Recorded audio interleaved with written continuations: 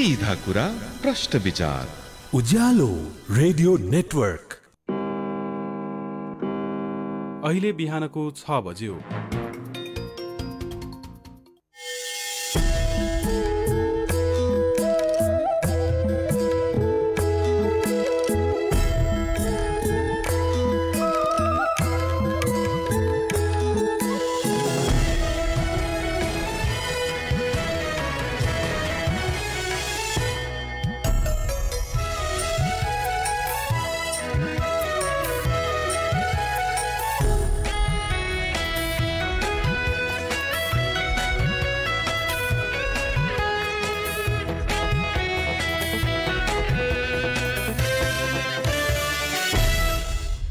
नमस्कार तथा सुप्रभात। उज्यालो रेडियो नेटवर्कसँगै उज्यालो अनलाइन र मोबाइल एप्लिकेशनबाट एक साथ प्रसारण भइरहेको काया कैरनमा तपाईंलाई साथी मदन पौड्यालसँगै दिपा तिमल सिन्हाको स्वागत छ।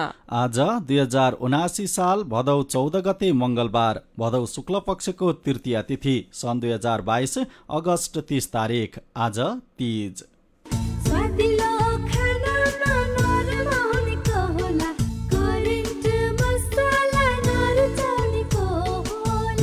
काया कैरनको साथमा करेन्ट मसला र करेन्ट चिया। स्वादको झट्का। काया कैरन शुरू गरौं मुख्य मुख्य खबरका शीर्षकहरूबाट। सत्तरी जिल्लामा डेङ्गीको संक्रमण बागमती लुम्बिनी र प्रदेश एकका दस जिल्लामा संक्रमित धेरै। अस्सी प्रतिशतलाई लक्षण नै देखिँदैन। सामान्य लक्षण देखिन साथ उपचारमा जान डाक्टरको सुझाव। स्थानीय सरकारसँग समन्वय गरेर लामखुट्टेको लार्वा खोज र नष्ट गर अभियान सुरु। प्रतिनिधि सभा र प्रदेश सभामा पालिका चुनावको भन्दा दोब्बर बढीले खर्च बढ्यो। चुनावका लागि सरकारले साढे उन्नाइस अर्ब रुपियाँ छुट्यायो। चुनाव प्रचार प्रसारमा पच्चिस जना भन्दा धेरै हिँड्न नपाइने। एक लाख पाँच हजार टन रासायनिक मल आयातको ठेक्का अलपत्र चार कम्पनीले सम्झौता अनुसार मल ल्याएनन्। धान पसाउने बेलामा दिइने मलको पनि अभाव हुने संकेत। भारतमा टोमाटो फ्लूको संक्रमण बढ्दै एक सय भन्दा धेरै बालबालिकामा संक्रमण पुष्टि। र केन्यासँगको चौथो टी ट्वेन्टी क्रिकेटमा नेपाल सात रनले पराजित पाँचौं तथा निर्णायक खेल आज। वैदेशिक रोजगार न्याय सम्बन्धी जानकारी। वैदेशिक रोजगारमा जाने व्यक्ति ठगिएमा वा शोषणमा परेमा वैदेशिक रोजगार विभागमा वा आफ्नो जिल्लाको जिल्ला प्रशासन कार्यालयमा निवेदन दिनुपर्दछ। वैदेशिक रोजगार ठगी गर्ने व्यक्तिलाई तीन वर्षदेखि सात वर्षसम्म कैद र तीन लाखदेखि पाँच लाख रुपियाँसम्म जरिवाना सजाय हुन्छ। वैदेशिक रोजगारमा ठगिएको व्यक्तिले बुझाएको रकम र त्यसमा थप पचास प्रतिशत हर्जना सहितको रकम पीडकबाट फिर्ता पाउँछन्। वैदेशिक रोजगार ठगीको विषयमा जहिले पनि उजुरी लाग्दछ। क्षतिपूर्तिसँग सम्बन्धित उजुरी एक वर्षभित्रमा दिनुपर्दछ। वैदेशिक रोजगारमा जाँदा लाग्ने खर्च मेन पावरमा बुझाइ भरपाई लिएमा न्याय पाउन सजिलो हुन्छ। वैदेशिक रोजगारीको सिलसिलामा ठगिएमा वा उद्धार गर्नु परेमा बेचबिखनमा परेमा वा तलब नपाई कानुनी सल्लाह र निशुल्क कानुनी सहायता चाहिएमा पिपुल फोरमको फोन नम्बर शून्य एक पैँतालिस तेइस नौ सय त्रिहत्तरमा सम्पर्क गर्न सकिनेछ। आइरेक्सको सहयोगमा मानव अधिकारका लागि जनमञ्च पिपुल फोरम काठमाडौँ नेपाल।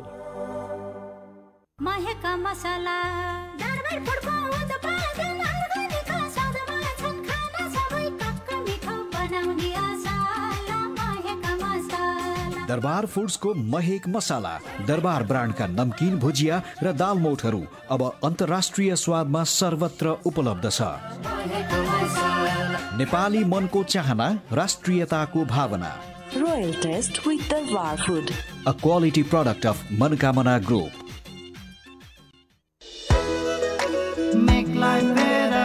जब हुन्छ घरमा उपयोग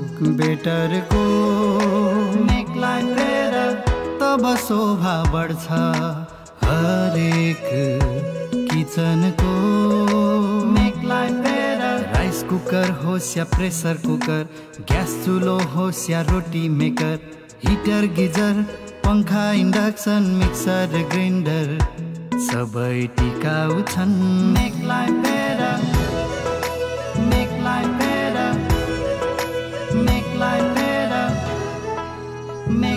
Better. Home appliances. Make life better.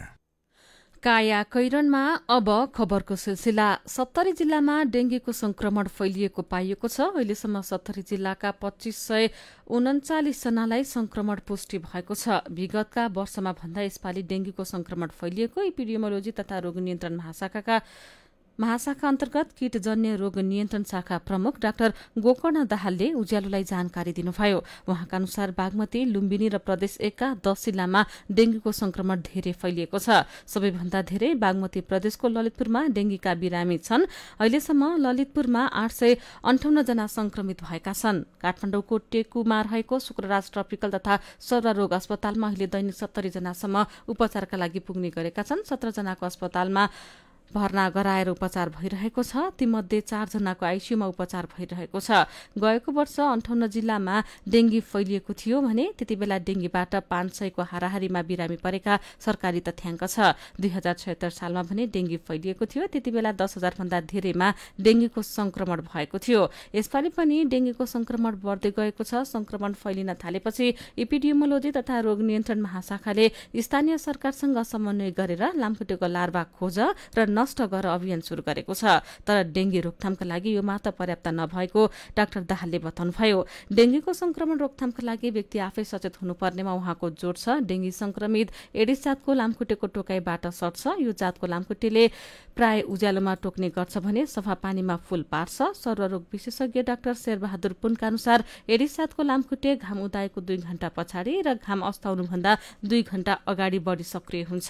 त्यसैले यो समयमा बढ़ी सचेत हुनुपर्छ ज्वरो आउनु मांसपेशी दुख्नु आँखाको गेडी दुख्नु टाउको दुख्नु शरीरमा रातो बिमिर आउनु वाकवाकी लाग्नु बान्ता हुनु डेंगीका प्रमुख लक्षण हुन्। यस्ता लक्षण देखिना साथ उपचारमा नगए गम्भीर स्वास्थ्य समस्या देखिने भएकाले सामान्य लक्षण देखिना साथ बेलैमा अस्पताल जान डाक्टरले सुझाव दिएका छन्। डाक्टरका अनुसार डेंगी भएको अस्सीदेखि पचासी प्रतिशतलाई यसको लक्षण देखिँदैन। त्यसैले सामान्य लक्षण हुनासाथ अस्पताल जानुपर्छ। पछिल्लो समय भारतमा फैलिरहेको टोमाटो फ्लूको जोखिम नेपालमा पनि बढेको विज्ञले चेतावनी दिएका छन्। उच्च संक्रामक मानिएको टोमाटो फ्लू खास गरी पाँच वर्षभन्दा कम उमेरका बालबालिकासँगको प्रत्यक्ष सम्पर्कका कारण सर्ने गर्छ। संक्रमणका कारण बालबालिकाको शरीरमा गोलभेडा अर्थात् टमाटर जस्तै टल्किने गरी रातो फोका देखिने भएकोले यसलाई टोमाटो फ्लू नाम दिएको हो। भारतमा फ्लूको संक्रमण बढ्दै गएपछि नेपालमा पनि जोखिम बढेको भन्दै मिल्दोजुल्दो लक्षण देखिएको खण्डमा जानकारी दिई उपचार गराउन विज्ञले सल्लाह दिएका छन्। संक्रमणका कारण नेपालमा पर्न सक्ने प्रभावबारे वृहत अध्ययन भइरहेको स्वास्थ्य सेवा विभागको इपिडेमियोलोजी तथा रोग नियन्त्रण महाशाखाका इडिसिडीका निर्देशक डाक्टर चुमनलाल दासले बताउनुभयो फ्लूको संक्रमणका कारण बालबालिकाको हात खुट्टा र मुखमा रातो फोका देखिने ज्वरो आउने थकाइ लाग्ने र शरीर दुख्ने लगायतका समस्या हुने गर्छ।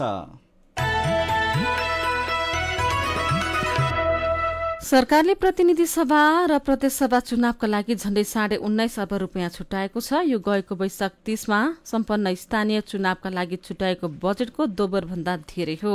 पालिका चुनावमा अर्थ मन्त्रालयले निर्वाचन आयोगलाई आठ अर्ब एघार करोड़ रूपियाँ छुट्याएकोमा पाँच अर्ब चार करोड़ मात्र खर्च भएको थियो भने प्रहरीले एक अर्ब बत्तीस करोड़ सशस्त्रले चौवालिस करोड़ पचपन्न लाख र सेनाले चालिस करोड़ रूपियाँ खर्च गरेका थिए। अर्थ मन्त्रालयका अनुसार निर्वाचन आयोगलाई दश अर्ब तथा गृह मन्त्रालय नेपाल प्रहरी सशस्त्र प्रहरी र म्यादी प्रहरीका लागि आठ अर्ब बयासी करोड़ एक्काइस लाख रूपियाँ छुट्याएको छ। आयोगले सरकारसँग एघार अर्ब रूपियाँ मागेकोमा एक अर्ब घटाएर खर्चको सहमति दिएको छ।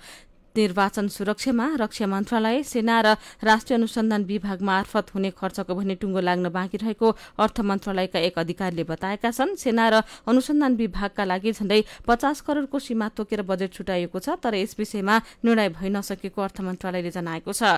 गएको वैशाख तीस गते भएको पालिका चुनाव भन्दा मतदान स्थल र मतदान केन्द्रको संख्या बढ़ेका कारण प्रतिनिधि सभा र प्रदेश सभा चुनावको व्यवस्थापन सञ्चालन तथा सुरक्षा खर्च बढ़ेको छ। गएको पालिका चुनावमा देशभर दस हजार सात सय सन्ताउन्न मतदान स्थल तोकिएकोमा आउँदो चुनावका लागि मतदान स्थलको संख्या एक सय बाहन्नले बढ़ेर दस हजार नौ सय आठ पुग्ने सुरक्षा कार्य योजनामा खटिएका एक अधिकारीले बताएका छन्। त्यसै गरी तेइस हजार भन्दा धेरै मतदान केन्द्र हुने अनुमान गरिएको छ। अस्थायी मतदान स्थलका रूपमा देशभरका कारागारमा पनि कर्मचारी र सुरक्षाकर्मी खटाइनेछ। गृह मन्त्रालयका प्रवक्ता फणेन्द्रमणि पोखरीले निर्वाचन सुरक्षा तथा सवारी उपकरण खरिद गर्न उन्नाइस करोड़ पैंतिस लाख रूपियाँ छुट्याइएको बताउनु भएको छ। यसैबीच आउँदो प्रतिनिधि सभा र प्रदेशसभाको चुनाव प्रचार प्रसारमा पच्चीस जना भन्दा धेरै हिँड्न नपाइने भएको छ। निर्वाचन आयोगले जारी गरेको आचार संहिता अनुसार उम्मेद्वारी मनोनयनमा पनि समर्थक र प्रस्तावक समेत गरी पच्चीस जना मात्रै लान पाइनेछ।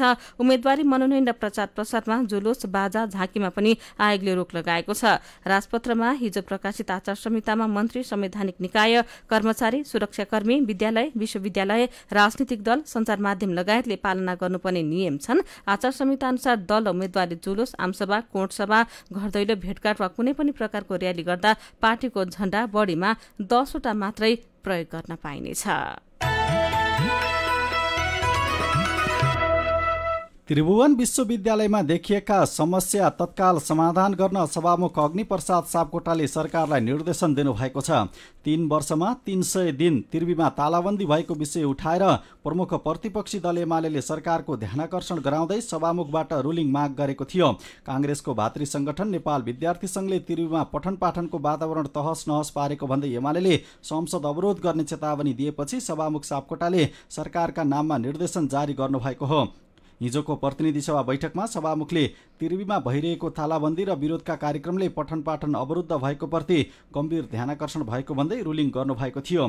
तालाबन्दी र धम्कीका कारण होटलमा कार्यकारी परिषदको बैठक बस्दा नेवी सङ्घको एक समूहले बैठकको निर्णय पुस्तिका लगायत कागजात नियन्त्रणमा लिएको त्रिभुवन विश्वविद्यालयले जनाएको छ।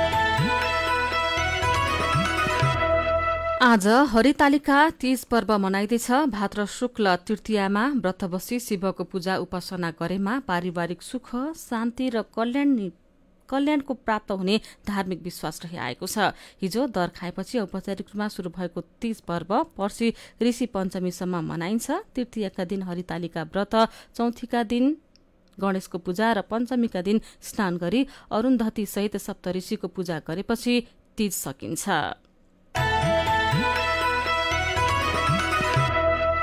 काया कैरनमा कुराकानीसँगै खबरहरू बाँकी नै छन् सुन्दै गर्नुहोला।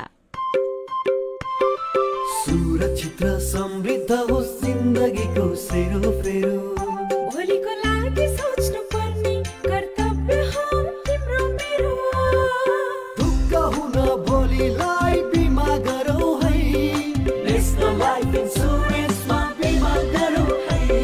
विगत पैँतिस वर्षदेखि सञ्चालनरत नेपालकै पहिलो अग्रणी जीवन बिमा कम्पनी। नेपाल सरकारको पूर्ण स्वामित्व रहेको राष्ट्रिय वाणिज्य ब्याङ्क प्रवर्धक रहेको national life insurance company Ajimpat Kathmandu.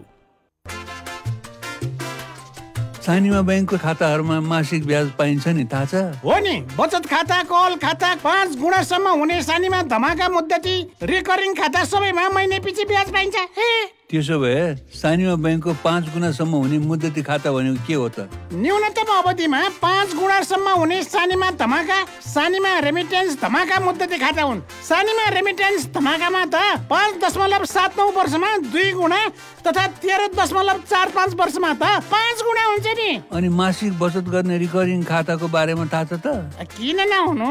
मासिक प्राप्त हुने ब्याज तथा किस्ता रकम मुद्दतीमा नै क्रमिक रूपमा जम्मा हुने रिकरिङ खाता हो यसमा भविष्यमा ब्याज दर घट्ने चिन्ता पनि हुँदैन। अनि उच्च प्रतिफल पाउने खाता चाहिँ? रिकरिङ खाता तथा पाँच गुणासम्म हुने मुद्दती खाताहरू हुन्। बचतमा नि बचतमा? सानीमा सुपर सेभिङमा त आठ दशमलव शून्य तिन प्रतिशत ब्याजका साथै रु पाँच हजारसम्मको निशुल्क होल बडी चेकअप सुविधा पाइन्छ। धेरै बुझेका रहेछौ। ल आजको अन्तर्वार्तामा तिमी पास भयो। मैले मात्र बुझेर भएन नि। जाउँ न सबैलाई बुझाउँ। एयरपोर्ट लाउन्जमा भिआइपी सुविधाका लागि निशुल्क प्रायोरिटी पास लिन पनि नछुटाऊ है। थप जानकारीका लागि नजिकैको शाखा वा अन्ठानब्बे शून्य एक सय उन्नाइस शून्य एक सय उन्नाइसमा सम्पर्क गर्नुहोला। सानीमा ब्याङ्क सबल अनि विश्वसनीय ब्याङ्क थोरै बचत धेरै कायदा बिमाका छन् फाइदै फाइदा। सरकारी स्वामित्व र बिमाको क्षेत्रमा विश्वसनीय नाम राष्ट्रिय बिमा संस्थान। जीवन बिमाका लागि आजै राष्ट्रिय बिमा संस्थान रामशाहपथ काठमाडौँ वा नजिकैको शाखामा सम्पर्क गरौँ।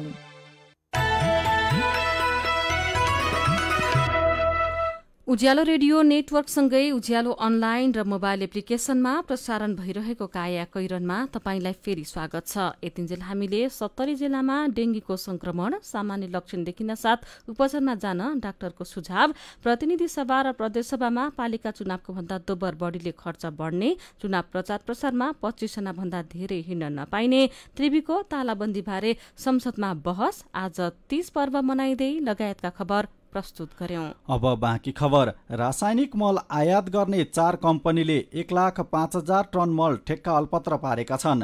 धान रोपाईँलाई लक्षित गरी आर्थिक वर्ष दुई हजार अठहत्तर उनासीमा ठेक्का सम्झौता गरेका सिल्क जेबी देश जेन ट्रेड र सिल्क मार्केटले मल नल्याएर किसानलाई धोक्का दिएका हुन्। कृषि सामग्री कम्पनीको सम्झौता अनुसार ती कम्पनीले आर्थिक वर्ष दुई हजार अठहत्तर उनासीमै मल भित्राइसक्नु पर्ने थियो तर मल आयात नगरिदिँदा धान रोपाईँसँगै ट्रप ड्रेसिङ अर्थात् धान पसाउने बेला दिइने मललाई समेत अभाव हुने सङ्केत देखिएको छ। आर्थिक वर्ष दुई हजार अठहत्तर उनासीका लागि एक लाख सन्तानब्बे हजार पाँच सय टनको ठेक्का भएको थियो। ढिलै भए पनि केही कम्पनीले आयात गरे तर चार कम्पनीले ठेक्का सम्झौता अनुसार आयात गरेनन्। कृषि सामग्री कम्पनीका एक अधिकारीले भनेका छन् मल आयात नगरिदिँदा धान रोपाईँको मुखमा मल अभाव भयो त्यसको असर ट्रप ड्रेसिङमा पनि पर्ने देखिन्छ। सिल्क जेबीले पचास हजार टन देशले पच्चिस हजार टन जेन ट्रेडले पच्चिस हजार टन र सिल्क मार्केटले पाँच हजार टन मल ल्याउने गरी सम्झौता भएको थियो। सबै आयात नगरिदिँदा धान रोपाईँसँगै धान पसाउने बेला दिने मल अभाव हुने सङ्केत देखिएको छ। चार कम्पनीले अलपत्र पारे एक लाख पाँच हजार टन मलको ठेक्का शीर्षकको यो खबर कान्तिपुर दैनिकले छापेको छ। Mm-hmm. आर्थिक वर्ष दुई हजार उनासी अस्सीको बजेट मार्फत सरकारले वैदेशिक रोजगारीमा गएका श्रमिकलाई पनि सामाजिक सुरक्षा कोषमा समेट्ने घोषणा गरेको छ। अहिलेसम्म नेपालमा औपचारिक क्षेत्रमा काम गरिरहेका श्रमिकहरू मात्र कोषमा आबद्ध छन्। यसै आर्थिक वर्षदेखि सरकारले वैदेशिक रोजगारीमा जाने श्रमिकलाई पनि योगदानमा आधारित सामाजिक सुरक्षा कोषमा समावेश गर्ने जनाएको छ। त्यसका लागि कानूनी अडचन फुकाउन केही नेपाल ऐन संशोधन मार्फत प्रक्रिया अघि बढ़िसकेको छ। ऐन संशोधन भएर आउने बित्तिकै कार्यान्वयनमा जाने गरी कोषले तयारी गरिरहेको छ। वैदेशिक रोजगारीमा जानेहरूलाई समावेश गर्ने कार्यविधिको खाका बनाएर कोषले विभिन्न सरकारवाला निकायसँग छलफल पनि गरिरहेको छ। साथी सञ्जिता देवकोटाले यिनै विषयमा कोषका कार्यकारी निर्देशक कपिलमणि गेवालीसँग कुराकानी गर्नुभएको छ। अहिलेको जुन योगदानमा आधारित सामाजिक सुरक्षा ऐन दुई हजार चौहत्तर छ त्यसभित्र भएको वैदेशिक रोजगारीमा जाने श्रमिकहरूको सामाजिक सुरक्षाका सन्दर्भमा यहाँले भन्नुभएको जस्तो प्रष्ट कुराहरू छैनन् भन्ने कुराहरू आइसकेपछि कानुनी व्यवस्थाका निम्ति चाहिँ केही नेपाल संशोधन का लागि मन्त्रालयबाट कानुन मन्त्रालय हुँदै यो क्याबिनेटमा गइसकेका छ। पहिलो कुरा जुन केही नेपाल संशोधन भएर आउँदाखेरि कानुनी रूपमा चाहिँ वैदेशिक रोजगारीमा गएका श्रमिकहरूको सामाजिक सुरक्षा कार्यान्वयन गर्नका निम्ति यसले आधार तयार गर्छ। सँगसँगै मन्त्रालयमा महाशाखा प्रमुखज्यूको संयोजकत्वमा त्रिपक्षीय ढङ्गबाट चाहिँ यो कार्यविधि आवश्यक हुन्छ। त्यो कार्यविधि निर्माणको प्रक्रिया पनि अगाडि बढिसकेको छ र त्यसको ड्राफ्ट तयार भएको छ। अब त्यसपछि हामीले यो यसलाई कार्यान्वयन गरेर अगाडि बढाउनका निम्ति यस निम्ति चाहिँ एनआरएनएसँग चाहिँ हामीले सहकार्य गर्ने गरी एउटा एमओयु पनि गरिसकेका छौँ।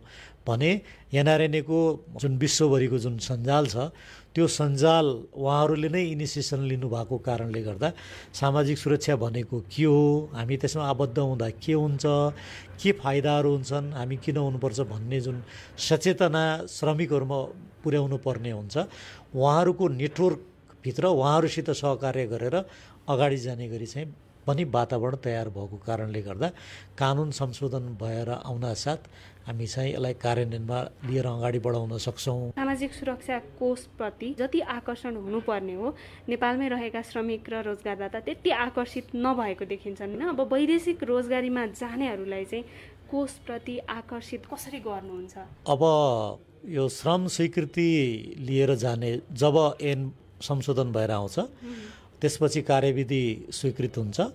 कार्यविधि स्वीकृति भइसकेपछि हामी एनआरएनएसितको सहकार्यलाई हामी अगाडि बढाउँछौँ र वैदेशिक रोजगारीमा गए जानेहरूले विभिन्न कालखण्डमा चाहिँ उहाँहरू त्यहाँ अप्ठ्यारोमा परेको अङ्गभङ्ग भएको ज्यानै समेत गुमाएको जुन परिस्थितिहरू छ त्यो परिस्थितिमा चाहिँ यहाँबाट पाउने सुविधाहरूले पक्कै पनि आकर्षित गर्छ र यो सुविधा आकर्षित गर्नका निम्ति उहाँले जानकारी पाउनु पऱ्यो हामीले जानकारी उपलब्ध गराउनुपर्छ। ती कुराहरू हामी गर्छौँ भने अर्कोतिर जुन श्रम स्वीकृति लिएर उहाँहरू जाने हो श्रम स्वीकृति लिएर जाने भनेको श्रम रोजगार तथा सामाजिक सुरक्षा मन्त्रालयबाटै हो। भनेको जहाँ जुन मन्त्रालय सामाजिक सुरक्षा कोषको एउटा प्यारेन्ट मन्त्रालय हो त्यसैको विभागबाट स्वीकृति लिएर जाने भएको हुनाले त्यसलाई चाहिँ एउटा अनिवार्य सोसियल सेक्युरिटी भनेर पनि अगाडि बढाउँदाखेरि यसलाई कार्यान्वयनमा ल्याउने। अलपत्र पर्दा अथवा श्रम स्वीकृति सकिएपछि दुर्घटना पर्दा केही नपाएर बिचल्ली भएका थुप्रै उदाहरणहरू छन्। अब जसरी सामाजिक सुरक्षा कोषले वैदेशिक रोजगारीमा गएकाहरूलाई समेट्छ अब समेट्दाखेरि चाहिँ यो कोषमा आउनेहरूलाई त्यस्ता जोखिमबाट चाहिँ बचाउँछ? पक्कै पनि। अब जुन सुविधाहरू यहाँ योगदान नियमित योगदान गर्ने योगदानकर्ताहरूले पाउनु भएको छ र जुन कुरा कार्यविधिले यी सुविधाहरू उपलब्ध गराउने भनेर स्वीकृत भएर बाहिर आउँछ त्यो अनुसार नियमित योगदान गर्ने योगदानकर्ताहरूले त कोषबाट सुविधा पाइराख्नु भएको छ र पाउनुहुन्छ। उहाँ हुनुहुन्थ्यो सामाजिक सुरक्षा कोषका कार्यकारी निर्देशक कपिल मणि गेवाली। काया कैरनमा मेरो पनि भन्नु छ र कार्टुनसँगै खबरको सिलसिला बाँकी नै छ सुन्दै गर्नुहोला। अत्याधुनिक प्रविधिका साथ वरिष्ठ दन्त चिकित्सकबाट दाँत सम्बन्धी सम्पूर्ण उपचार अब ग्वारको ललितपुरमा रहेको आध्या डेन्टलबाट। दाँत भर्ने दाँत हाल्ने आरसिटी दाँत निकाल्ने दाँत सफा गर्नेदेखि दाँत नभएको ठाउँमा दाँत राख्ने इम्प्लान्ट प्रविधि तथा इन्भिजिलाइन प्रविधिबाट तार नहाली दाँत सिधा गर्ने लगायतका सेवाका लागि सम्झनुहोस्। Aadhya dental and implant center. Neuro center building Gwarko Chowk Lalitpur. Koteshwor जाने बस स्टपसँगै। सम्पर्क नम्बर शून्य एक पाँच पचपन्न चौवालिस उन्तिस अन्ठानब्बे चार उनान्से छब्बिस शून्य शून्य आठ अन्ठानब्बे शून्य बिस शून्य दुई चार उन्नाइस।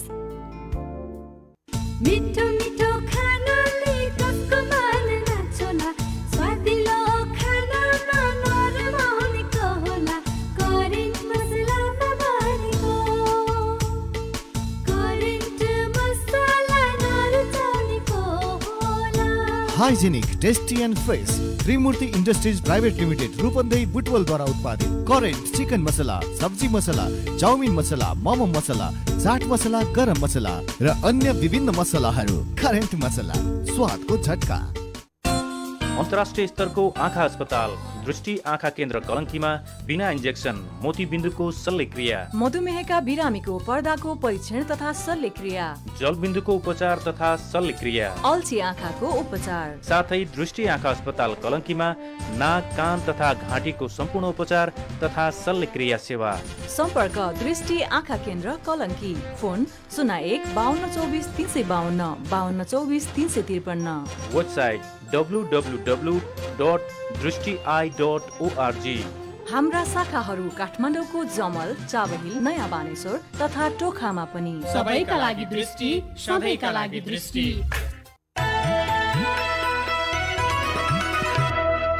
उज्यालो रेडियो नेटवर्क मार्फत देशभरिका विभिन्न एफएम स्टेशन तथा उज्यालो अनलाइन र मोबाइल एप्लिकेशनमा प्रसारण भइरहेको काया कैरनमा तपाईंलाई फेरि स्वागत छ। अब बाँकी खबर। विदेशी मुद्राको सञ्चिति घट्दै गएपछि सरकारले विलासिताका दस वस्तु आयातमा चार महिना अघि लगाएको प्रतिबन्धको म्याद सकिएको छ। आइतबार मध्यरातिबाट म्याद सकिए पनि सरकारले कुनै सूचना सार्वजनिक गरेको छैन।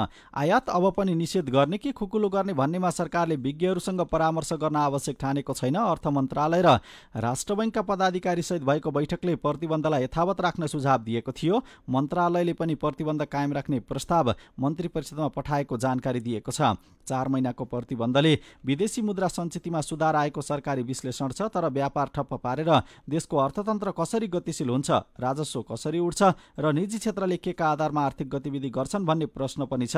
प्रधानमन्त्री कार्यालयका एक सचिवले भने चाडबाड नजिकिएको सँगै उद्यमी व्यापारीले बन्देज हटाउनु पर्ने माग गरिरहेका छन्। वाणिज्य मन्त्रालयले निर्णय गरेपछि प्रधानमन्त्री कार्यालय र अर्थ मन्त्रालयमा निजी क्षेत्रको सरोकार व्यक्त भएको छ। प्रतिबन्ध खुकुलो गर्ने विषयमा सरकार सकारात्मक छ। विदेशी मुद्रा सञ्चित घटेर भुक्तानी सन्तुलनमा चाप परेपछि सरकारले गएको वैशाख तेह्रमा दस वस्तुको आयातमा बन्देज लगाउने निर्णय गरेको थियो। असार एकतिसमा राजपत्रमा अर्को सूचना प्रकाशित गर्दै त्यसलाई भदौ चौधसम्म निरन्तरता दिएको थियो।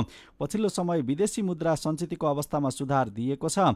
आयातलाई निरन्तरता दिने या कसो गर्ने भन्नेबारे सरकारले निर्णय गर्न सकेको छैन। आयात बन्देज कहिलेसम्म शीर्षकको यो खबर कान्तिपुर दैनिकले छापेको छ। मेरो पनि भन्नु छ। आज मनाइँदै गरेको तीज पर्वमा व्रत बस्नेहरूले स्वास्थ्यको ख्याल गर्नुहोला भन्दै सुनिता सापकोटाले लेख्नु भएको छ धेरैले निराहार व्रत भन्नुहुन्छ। स्वास्थ्यले साथ दिन्छ भने त ठिक छ। यदि स्वास्थ्यमा समस्या आउँछ भने जबरजस्ती नगर्नुहोला। व्रत बस्दा बेहोस भएका लगायत थुप्रै समस्याहरू सुनिँदै आएको छ। व्रत बस्दा स्वास्थ्यलाई बढी ख्याल गर्नुपर्छ। यसै सन्दर्भमा मनोज दाहाल लेख्नुहुन्छ व्रत बसेर नाचगान गर्दा बढी जोखिम हुने भएकोले ख्याल गर्नुहोला। सक्नेले निराहार व्रत बसे पनि शरीर कमजोर हुनेहरूले पानी दुध फलफुल लगायत खाएर पनि व्रत बस्न सकिन्छ। कोरोना लगायतका सरुवा रोगको जोखिम रहेकोले नाचगान तथा मन्दिर जाँदा भिडभाडबाट पनि बचौं। नेकपा माओवादी केन्द्रका अध्यक्ष पुष्पकमल दाहाल प्रचण्डले आउँदो चुनावका लागि काठमाडौँ उपत्यकामा बालेन शाहभन्दा बढी सेन्टिमेन्ट भएको व्यक्तिलाई उम्मेद्वार बनाउँछौँ भन्नुभएको खबर उज्यालोमा पढेर मणि श्रेष्ठ लेख्नुहुन्छ।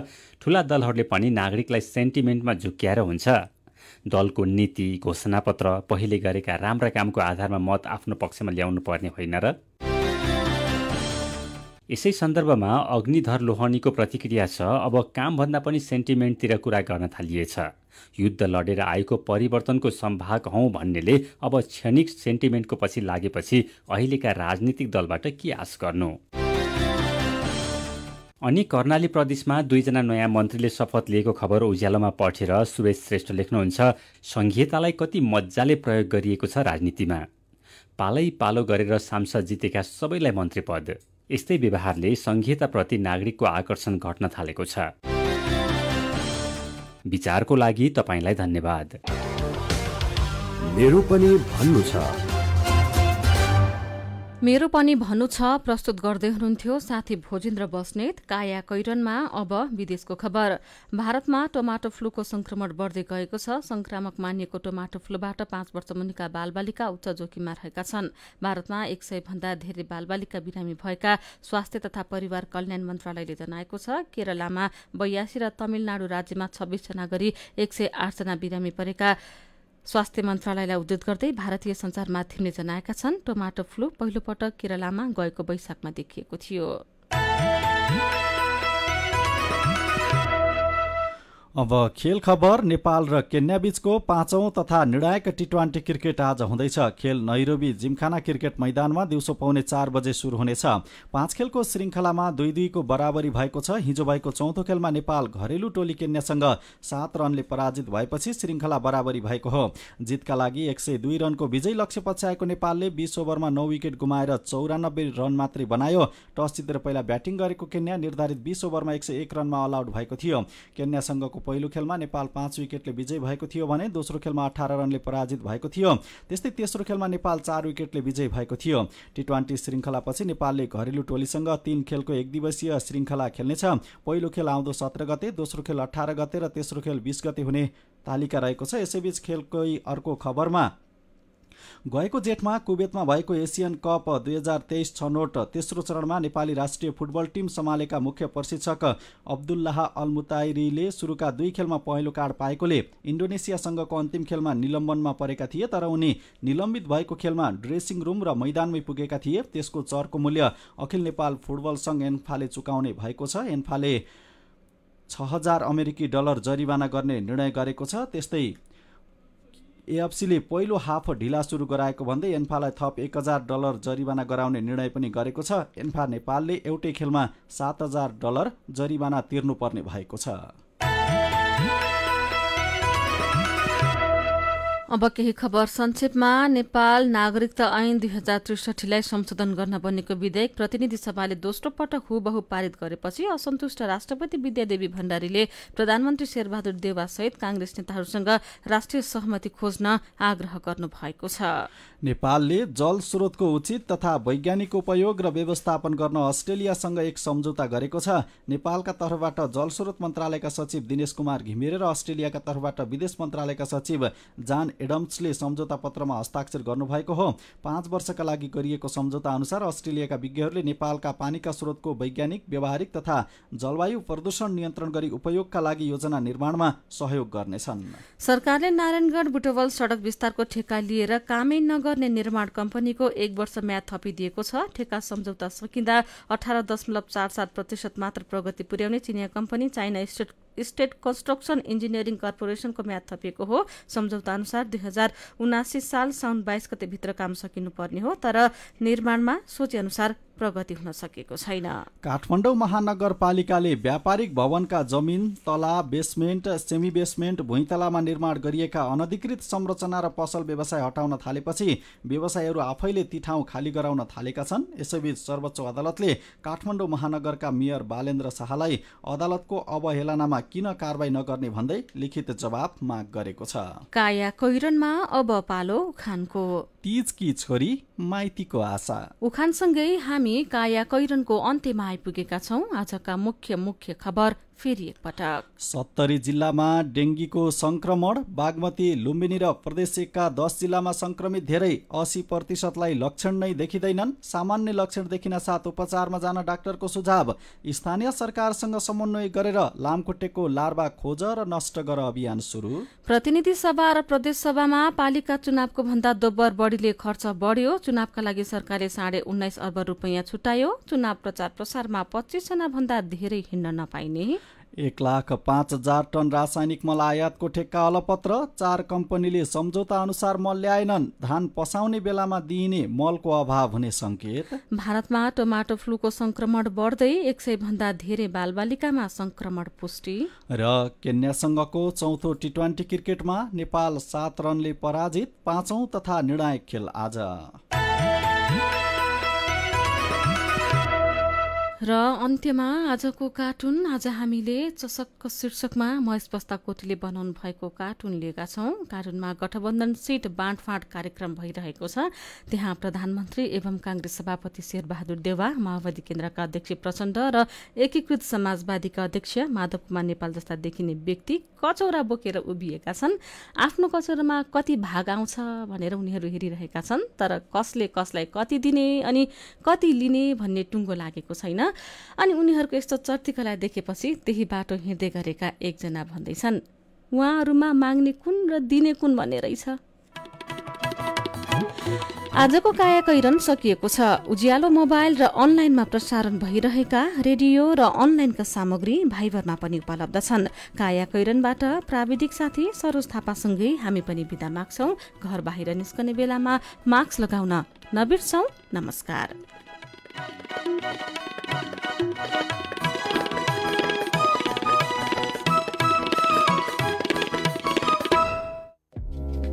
एचआइभीका बारेमा खुलेर कुरा गरौं। एचआइभी खराब आचरणको नतिजा नभई असावधानीको परिणाम